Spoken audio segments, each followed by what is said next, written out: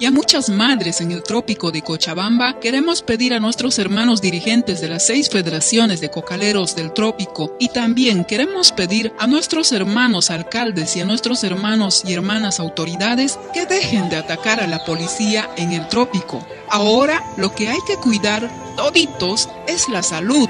Les pido, por favor, no atacar a policías. Queremos que policías vuelvan al Chapare para que se puedan abrir los bancos que pagan nuestros bonos. Sin policía no hay control y sin control no hay bonos. Hermanos dirigentes, ahora no es para estar con peleas, pues ahora es cuarentena para cuidar la salud de todos.